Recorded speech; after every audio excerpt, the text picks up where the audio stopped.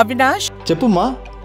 దగ్గరలో ఉన్న మెడ్ ప్లస్కు వెళ్ళి మెడ్ ప్లస్ బ్రాండ్ మెడిసిన్స్ అని అడిగి కొనుక్కునరా అక్కడ ఫిఫ్టీ టు ఎయిటీ పర్సెంట్ తగ్గింపుకు వస్తుంది మీరు తీసుకునే అదే మందులు అదే నాణ్యమైన మందులు కానీ సగం ధరకే.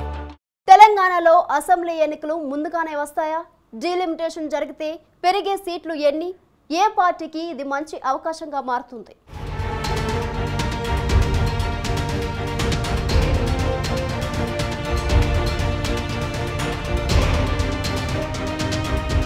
దేశ జనాభా లెక్కలు సెన్సెక్స్కు కేంద్ర ప్రభుత్వం సిద్ధమవుతోంది.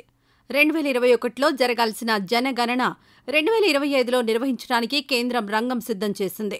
వచ్చే ఏడాది ప్రథమార్థంలో సెన్సెస్ మొదలై రెండు వేల ఇరవై ఆరు కల్లా ముగుస్తుంది. కేంద్ర ప్రభుత్వం వద్దకు రెండు వేల ఇరవై ఆరు కల్లా కొత్త జనాభా లెక్కలు చేరనున్నాయి. ఆ వెంటనే నియోజకవర్గాల పునర్విభజన ప్రక్రియ కూడా మొదలవనుంది. కేంద్ర ప్రభుత్వం ఇప్పటివరకు జనగణన విషయంపై అధికారికంగా ఎలాంటి నిర్ణయం తీసుకోలేదు. అయితే సెన్సెస్ కమిషనర్ మృత్యుంజయ్ కుమార్ పదవీ కాలాన్ని రెండు వేల ఇరవై ఆరు వరకు పొడిగిస్తూ నిర్ణయం తీసుకోవడంతో జనగణన ప్రక్రియపై ఊహాగానాలు మొదలయ్యాయి.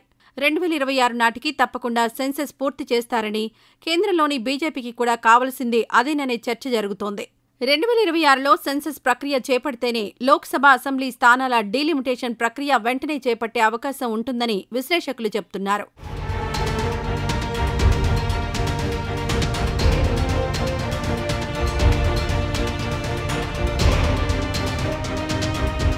జనగణన త్వరగా పూర్తయి ఆ వెంటనే డీలిమిటేషన్ ప్రక్రియ చేపడితే బీజేపీ అనుకున్న జమిలీ ఎన్నికలకు కూడా మార్గం సుగమం కానుంది.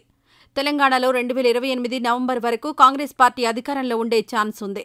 అయితే బీజేపీ కనుక ముందుగానే జమిలీ ఎన్నికలు నిర్వహించాలనుకుంటే రెండు వేల ఇరవై ఎనిమిది మేలోనే ఎన్నికలు వచ్చే అవకాశం ఉంది.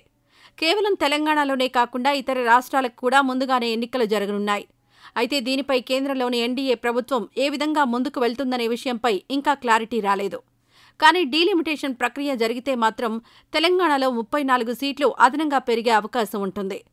రాష్ట్ర పునర్విభజన చట్టం ప్రకారం డీలిమిటేషన్ జరిగితే రెండు వేల ముప్పై నాలుగు ఎన్నికల్లో అవి అమల్లోకి వస్తాయి. అయితే ఇప్పుడు సెన్సెస్ రెండు వేల ఇరవై ఆరులోనే చేపడుతూ ఉండడంతో ముందుగానే డీలిమిటేషన్ అమల్లోకి తీసుకొచ్చే అవకాశం ఉంది.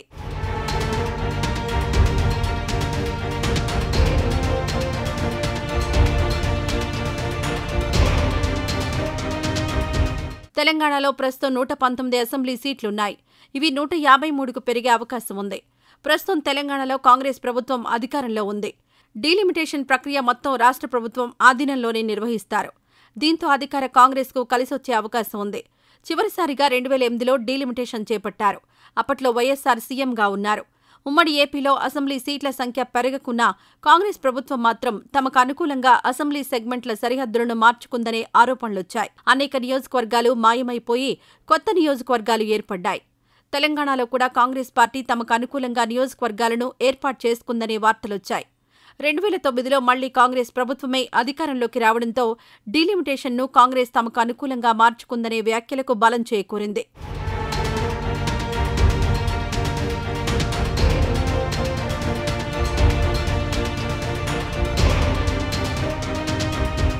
ఇప్పుడు కూడా కాంగ్రెస్ అధికారంలో ఉన్నప్పుడే డీలిమిటేషన్ జరిగే అవకాశాలున్నాయి. ఈసారి కేవలం నియోజకవర్గాల సరిహద్దులు మారడమే కాకుండా కొత్త నియోజకవర్గాలను కూడా ఏర్పాటు చేయనున్నారు. ఇది కాంగ్రెస్ పార్టీకి మరింతగా కలిసి రానుంది. జీహెచ్ఎంసీ పరిధితో పాటు పలు ఉమ్మడి జిల్లాల్లో కొత్త నియోజకవర్గాలు ఏర్పడనున్నాయి.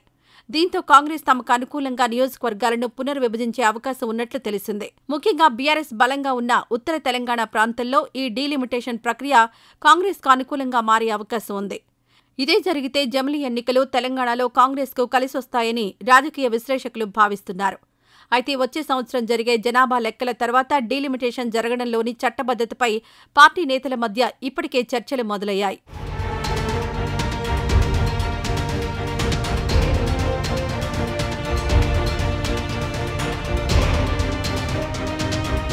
వాస్తవానికైతే షెడ్యూల్ ప్రకారం తెలంగాణలో రెండు వేల ఇరవై ఎనిమిది నవంబర్లో లోక్సభకు రెండు వేల ఇరవై తొమ్మిది మేలో ఎన్నికలు జరగాలి. అప్పటికల్లా డీలిమిటేషన్ పూర్తి చేయాలంటే ఇప్పటి నుంచే పూర్తి స్థాయిలో కసరత్తు జరగాల్సి ఉంది. లోక్సభలో సీట్ల సంఖ్య ఎనిమిది వందల ఎనభై ఎనిమిదికి పెరుగుతుందని దక్షిణాదిన సీట్లు తగ్గిపోతాయనే వార్తల నేపథ్యంలో ప్రాంతీయ పార్టీలు ముఖ్యంగా దక్షిణాది పార్టీలు అభ్యంతరం వ్యక్తం చేస్తున్నాయి. అయితే పార్లమెంట్ ఎన్నికల నాటికి డీలిమిటేషన్ ప్రక్రియ కంప్లీట్ చేయాలని భావిస్తే తెలంగాణలోని అసెంబ్లీ లోక్సభ స్థానాల సంఖ్య పెరుగుతుందనే ఆశలు నెలకొన్నాయి. పార్లమెంట్ ఎన్నికల నాటికి డీలిమిటేషన్ పూర్తి చేయడంపై కేంద్రం నిర్ణయం తీసుకుంటే తెలంగాణకు సైతం లబ్ధి కలుగుతుంది.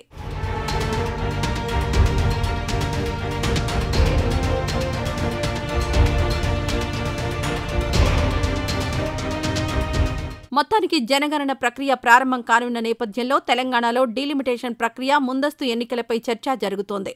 అయితే ఈ డీలిమిటేషన్ రెండు వేల ఇరవై ఎనిమిది నాటికి పూర్తి చేయడం సాధ్యపడకపోతే పాత నియోజకవర్గాల్లోనే ఎన్నికలు జరుగుతాయి. కానీ డీలిమిటేషన్కు అనుగుణంగా చట్ట రాజ్యాంగ సవరణలు చేస్తే విభజన చట్టానికి కూడా అదే ప్రక్రియను అమలు చేసి తెలంగాణ ఏపీ రాష్ట్రాల్లోనూ లోక్సభ అసెంబ్లీ సీట్లను పెంచేందుకు మార్గం సుగమం అవుతుంది దీనిపై త్వరలోనే అన్ని పార్టీల అభిప్రాయాలను తీసుకునే అవకాశం ఉందని రాజకీయ వర్గాల్లో చర్చ జరుగుతోంది.